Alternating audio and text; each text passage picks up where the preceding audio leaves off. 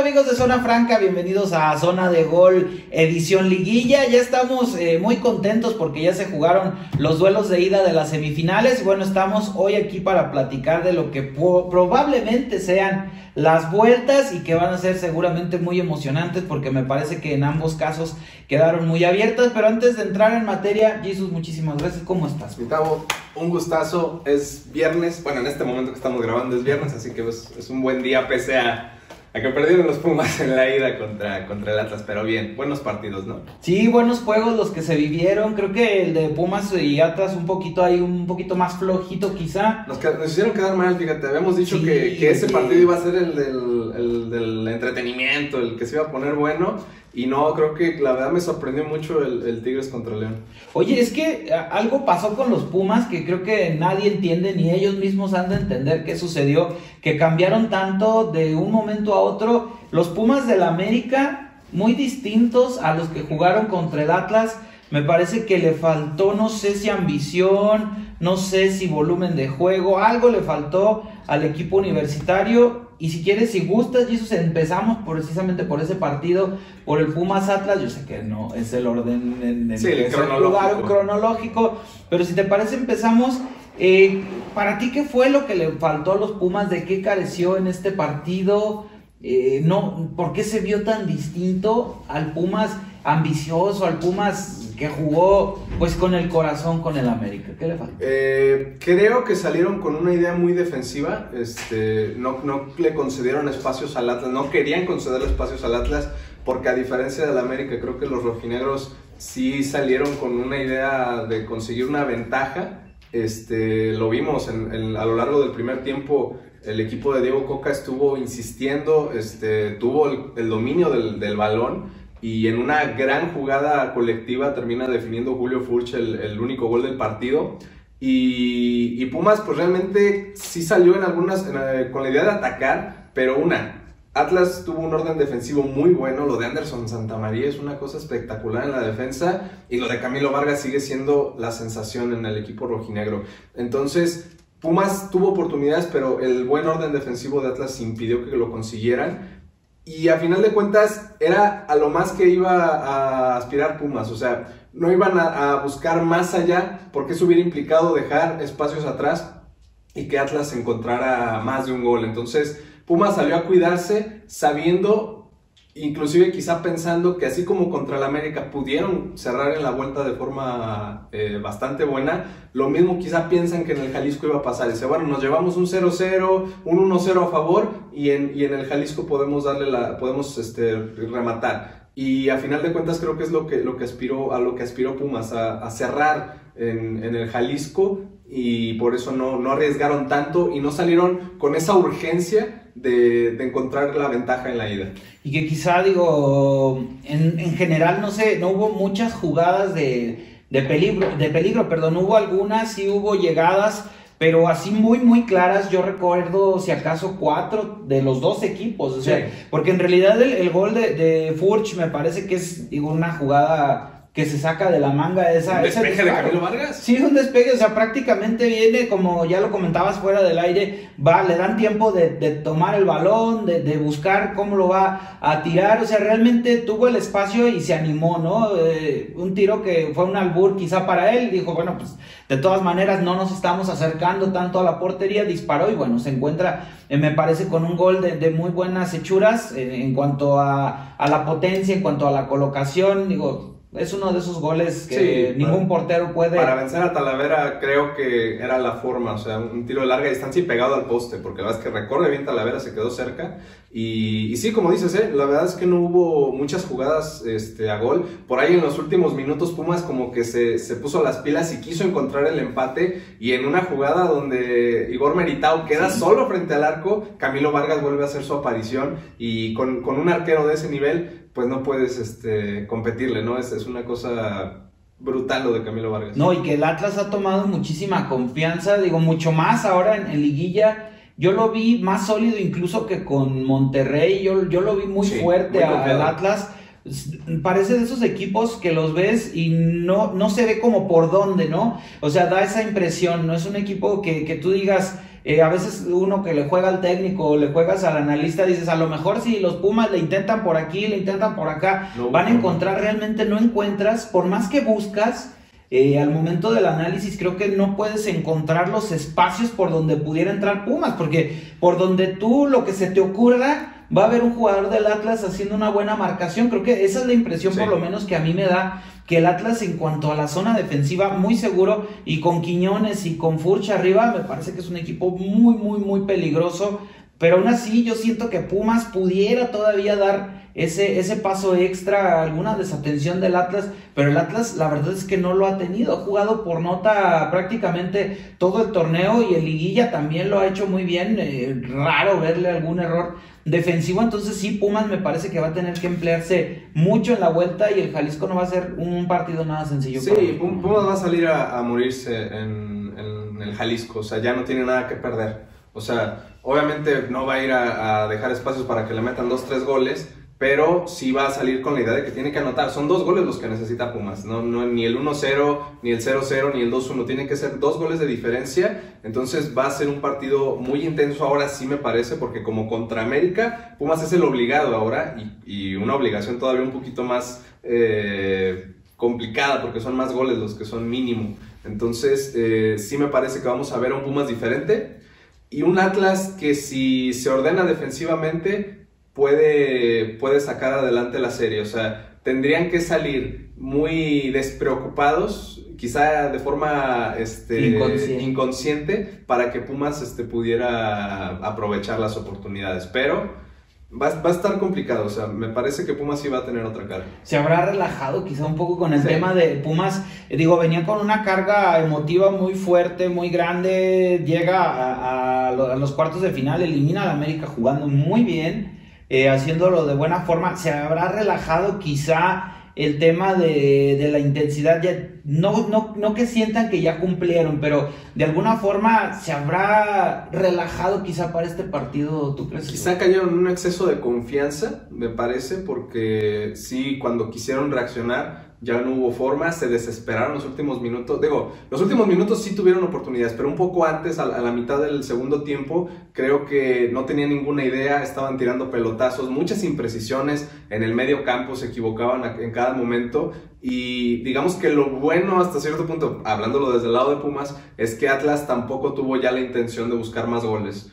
Se dedicaron a pelotear, a, a desesperar a Pumas, a tener la posesión del balón, posiciones largas, es lo que tiene Atlas y eso es lo que terminó hasta cierto punto desquiciando al equipo de Linini que no encontraba la, la, oportunidad. Y también hay que decir algo, el tema del arbitraje tuvo sus detalles, por ahí una jugada donde se, se pidió una tarjeta roja para velar de una plancha que pudo haber sido quizá, pero por la inercia de, la jugada eh, creo que estuvo bien el árbitro, un penal que correctamente sí se le, se le quita, se le quita a Pumas, pero hubo una plancha sobre Dineno que sí, es así, me parece, no, ni siquiera fue amarilla, creo que ni siquiera fue falta, y aparte amonestan a Dinero porque reclama, se ven unas imágenes ahí donde se, se, ve la marca ahí en la espinilla, este, donde sí, sí, sí fue dura la jugada, y esa jugada en específico creo que, que sí al árbitro se le escapó, al VAR se le escapó, y es donde te explicas por qué unas sí y otras no, cuando tienen la misma... Si tienen la misma... El mismo impacto o las mismas los mismos argumentos para pensar que la pueden revisar, ¿no? Oye, y del VAR, que también vamos a mencionarlo ahorita en el partido de León que vamos a hablar. Y, ahorita que mencionaste a Dineno, ¿qué le está pasando a Dineno? No, no aparece. de hecho, yo confiaba. No, sí, pero. en este partido lo En este partido tres hombres,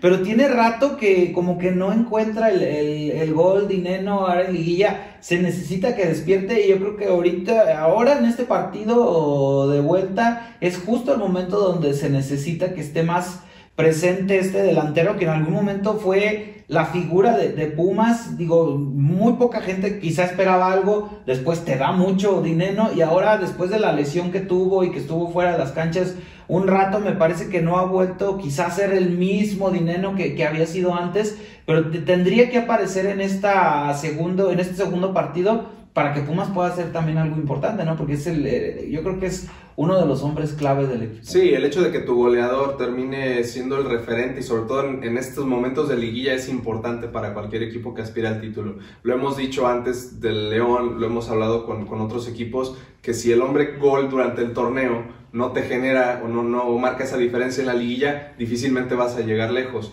Entonces lo de Dineno sí viene arrastrando pues durante toda la liguilla, o sea, ni al América le ha marcado, ni en, ni en este caso al equipo del Atlas, pero contra Toluca fue la última vez que hizo el, el gol ahí de uno de los goles del, del, repechaje. Entonces ese Dineno es el que necesita Pumas.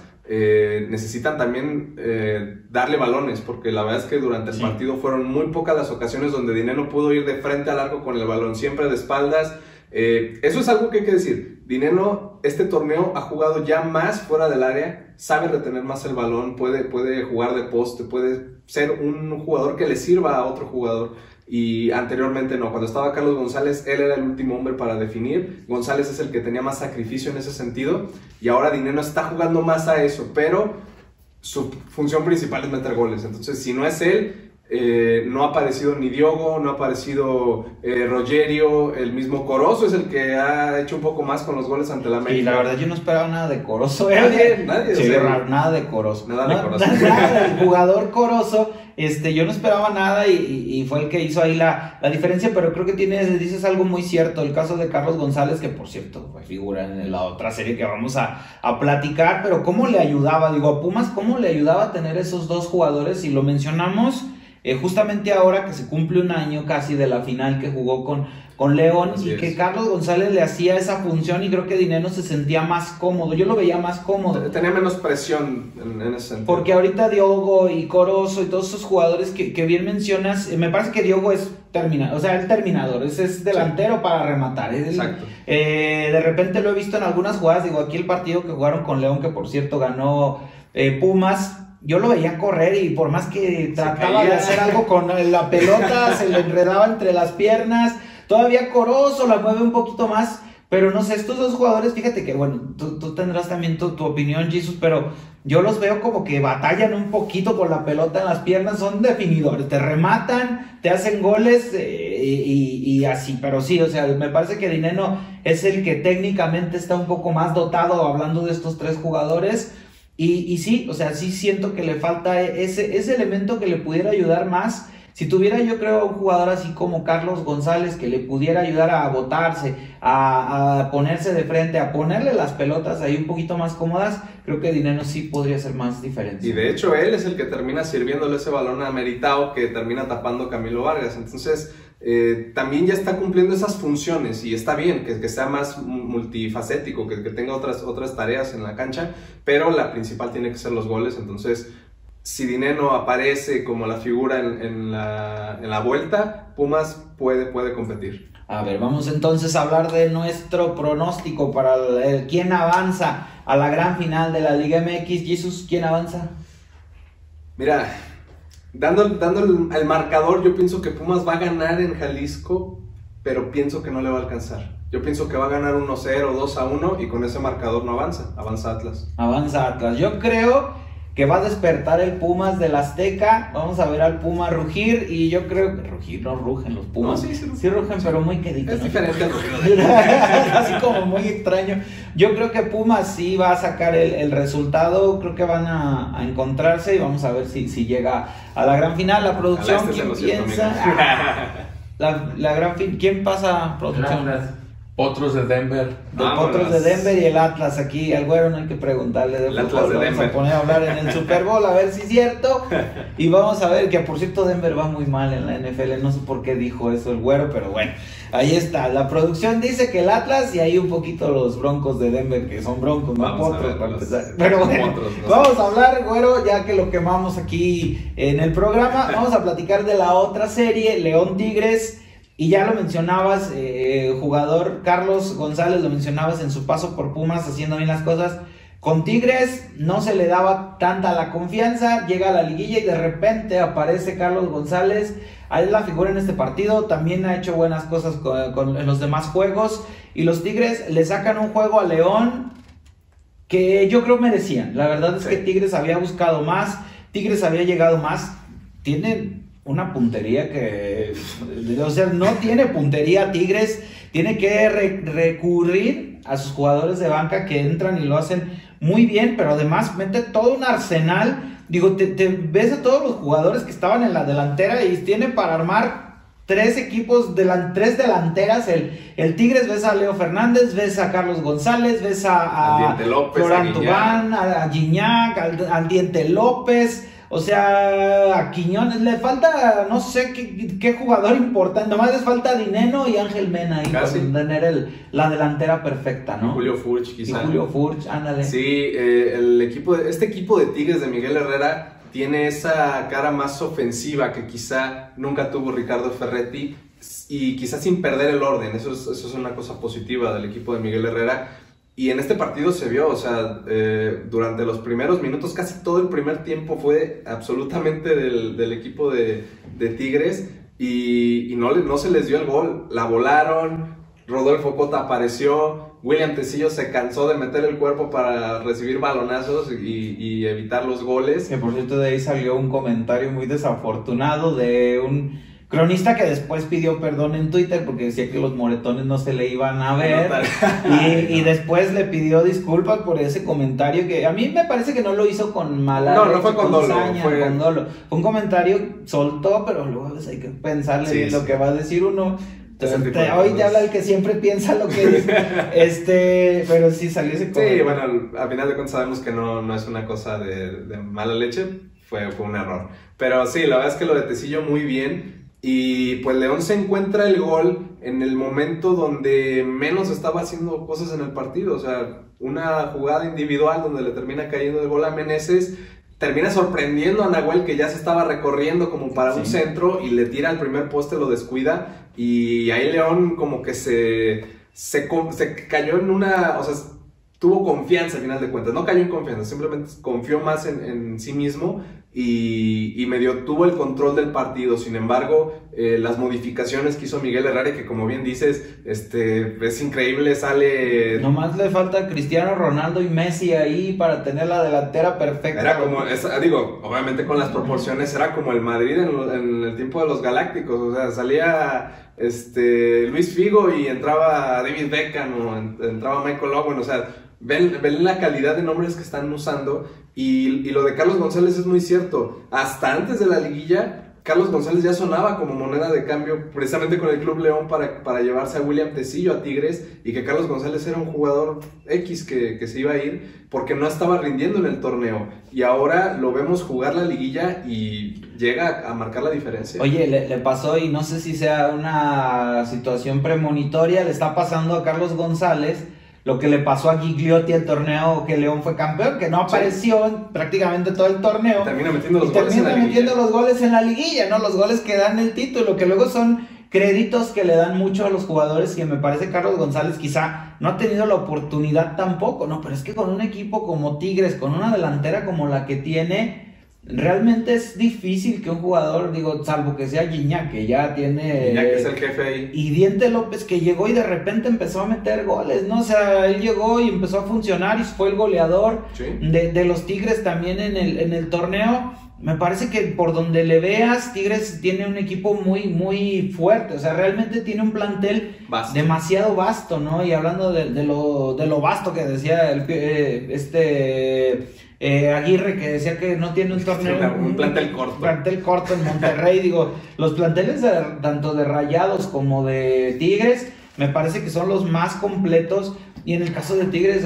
realmente yo veo un equipo muy fuerte, pero aún así, León tuvo aunque no generó las, la misma cantidad de llegadas que Tigres. Fue peligroso. Fue muy peligroso, las generó cuatro de peligro, cinco de peligro muy claras. Digo, creo que fueron más peligrosas los, las que generó León que todo el volumen de, de, jugadas que generó Tigres, porque tuvo una de, Meneses que pasó cerca del poste, otra de Dávila que pasó cerca del poste, el tiro de Ángel Mena en el primer tiempo que pega en el, en el poste, o sea, realmente fue muy peligroso cuando se decidió a ir adelante. Yo nunca entendí, y no sé si tú sí lo hayas entendido, Jesús, por qué Holland de repente plantea todo el, o no sé si Holland o el mismo, o, el mismo trámite del juego así lo, lo, marcó, pero de repente León ya no podía ni salir de su, de su área, de su zona, no, no había como esa opción, buscaban un contragolpe a velocidad quizá, esperando que la defensa de Tigres, sabiendo que la defensa de Tigres quizá no es muy rápida,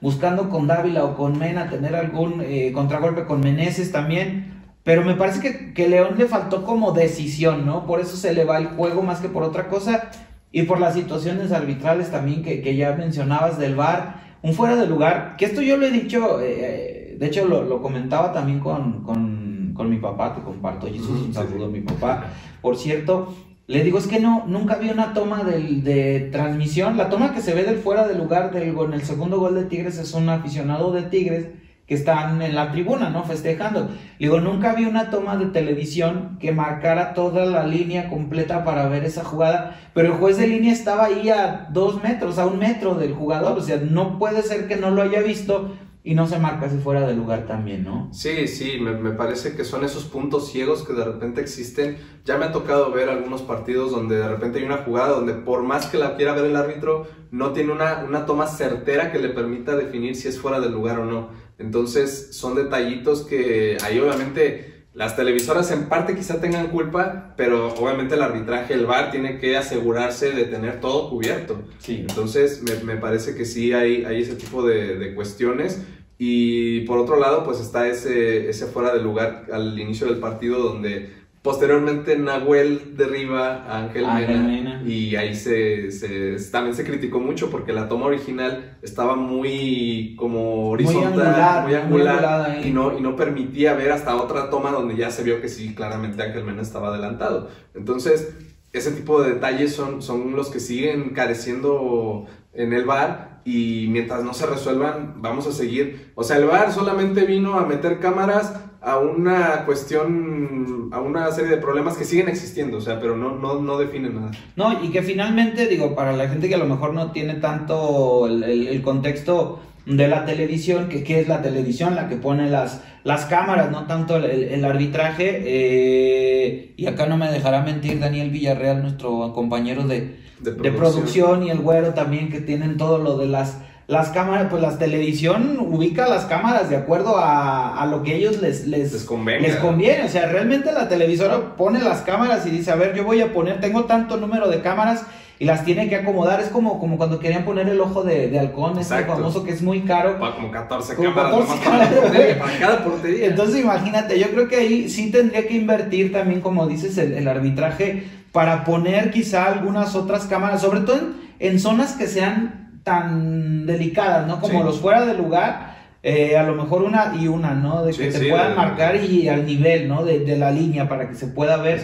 A lo mejor ahí eh, eh, sería, porque ahorita mientras dependan de, la televisión, comentaba alguna persona, decía, no, es que la televisora no las pasa porque no le conviene, porque ayudan a Tigres es, es, una cuestión que no se sabe, o sea, no puedes determinar ni nada. No hay una toma y justamente el que da la toma es, es un aficionado de los Tigres. Entonces, eh, yo creo que sí, si van a invertir en el bar, sí deberían de buscar, como dices, el, poner el arbitraje. Y, y, a ver, una coordinación, o sea, a final de cuentas, va a haber inversión obviamente de la federación, de la comisión de arbitraje y junto con las televisoras, decir, ¿saben qué? De forma estándar vamos a tener esta cantidad de cámaras, esta tiene que puede captar esto, esta tiene que captar esto otro, y eso tiene que ser generalizado, porque no es posible que en un partido, porque lo transmite Televisa, sí se marca una jugada, y en otra, porque lo transmite TV Azteca o, Chivas TV, este, pues que esa cámara no la tienen y no aplica el VAR. Entonces, tiene que existir una homologación de, este tipo de detalles, que no sé si exista una parte en el reglamento del VAR, de decir, tienen que tener esta cantidad de cámaras. fíjate que yo creo que todavía son cosas que no se han eh, definido. que todavía no se han pulido, sobre todo del bar. Y sí, o sea, sí da mucho a ese tema, ¿no? Porque incluso hasta, digo, no sé si sea así, pero hasta en las cuestiones de repeticiones, ¿cuántas veces no estás viendo un partido y una repetición del equipo local la pasan una y otra y otra y otra vez? Y la repetición de las faltas para el equipo visitante una vez y a lo mejor, ¿no? o sea, como que sí influye esa parte, ¿no? Finalmente, y están viendo, sí hay cierta parcialidad y el arbitraje supongo que en estos momentos sería, sería un buen tema para preguntarle a los árbitros si tienen que someterse a eso o si ellos tienen alguna, algún tema, alguna regulación, alguna situación ahí, que yo creo que no, porque realmente no he visto, por lo menos aquí en el Estadio León, que el arbitraje determine algo de alguna cámara o algo así. Entonces yo creo que sí tendrían que tener un sistema independiente para poder hacer las mediciones. Un circuito cerrado. un circuito cerrado, no depender tanto del, de, la televisora, sino tener ese circuito cerrado y ver cómo pudiera funcionar para que el bar funcione al 100%. Totalmente de acuerdo. Entonces, eso después de hablar del bar, también, del bar con V, ¿Cuál es tu pronóstico para el León Tigres de este fin de semana? ¿Quién avanza, León o Tigres? Yo pienso que Tigres tiene, tiene en teoría argumentos y debería, ah, si, si, sabe manejar el, resultado a su favor, si juega con orden, eh, yo pienso que puede desesperar a León, porque algo que vimos contra Puebla es que León tampoco es como que tuviera la posibilidad de, de dominar el partido, hubo momentos donde batalló y Puebla no es, Tigres no es Puebla, o sea, este equipo con una, con una idea defensiva más sólida, puede desesperar a León e inclusive puede matar la, la, serie con un gol. No, yo te voy a dar una premonición, Jesús, fíjate. Yo creo que va a avanzar Tigres también en, esta, en esta serie. Pero yo creo que el Piojo tiene la capacidad para darle a este Tigres una visión ofensiva. No, digo, ya ahorita este torneo es muy corto, pero si de inicio, de inicio, como lo va a agarrar para el próximo torneo, yo creo que el Piojo es un técnico que tiene la capacidad para explotar ese poder ofensivo que tiene Tigres. Y aguas con Tigres del Piojo Herrera en los próximos torneos. Creo que va a ser un equipo protagonista. En el momento en el que el Piojo le halle el modo a todos esos jugadores y, los ponga a jugar así como jugaron los últimos minutos del partido con, León de la ida, aguas con el Tigres de Miguel Herrera. Esa es la premonición que estamos dando Ahora, en diciembre del 2021. Exacto. Lo único que sí tiene que cuidar es, bueno, es una cuestión más extra cancha, pero la historia de Miguel Herrera contra León aquí en León es eh, negativa. Entonces, quieras que no pesa, o sea, puede ser una cosa de, estadística y que a veces pasa, a veces no, pero la tendencia es que al Piojo Herrera no le va bien aquí en León. Ahora sí que tendría que ir contra, va contra esos fantasmas el Piojo Herrera y yo creo que eso es una cosa que también le puede dar motivación para poder romper con esa, con esa cuestión. Producción, ¿quién pasa, León o Tigres? León. Bengalíes, bueno. Los bengalíes eh, de Cincinnati, que también, no, no son, tigres, son tigres, ¿no? También son tigres, mira. No, que a los tigres. Ahí de forma subliminal. Lo tradujo, lo tradujo a la NFL y la Hace como que no sabe, pero sí sabe. Sí sabe. ah, más o menos. Puede haber dicho los leones de Detroit también, ¿verdad? También. Entonces, bueno, y ahí está. Entonces la producción dice que Tigres se, dividió, León, Tigres, nosotros decimos Tigres, nos mantenemos con Tigres porque eso dijimos al inicio y bueno, vamos a estar muy pendientes de lo que ocurre Jesus en estas semifinales de, de, vuelta, vamos a tener toda la información también en el portal de zonafranca.mx, pues solamente invitar a la gente que siga viendo estos especiales de Liguilla Jesus, nos vamos Jesus. Nos vamos Tavo, vamos a ver qué nos espera este fin de semana, ya estamos en la antesala de la final y creo que va mejorando esto partido a partido y serie a serie. Pues ahí está, vamos a ver entonces cómo le va a la Fiera y cómo le va a los Tigres y cómo le va a Atlas y cómo le va al Pumas en esta semifinal. Nosotros seguimos muy pendientes y los invitamos a que nos vean ya en la próxima edición de Zona de Gol que será previa a la final. Así es. Bueno, nos vamos, nos vemos, hasta pronto.